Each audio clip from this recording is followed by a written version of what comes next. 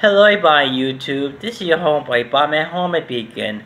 Today, I'm actually doing a tarot reading for American rapper Kanye West. So anyway, let's see what the three card reading says, shall we? Okay, our first card for the reading is the Empress Reverse. This card means that Kanye West is not going to be very creative in his life.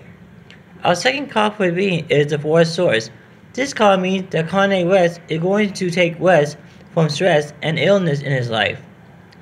And uh, our third last card for the reading is the Two of Swords.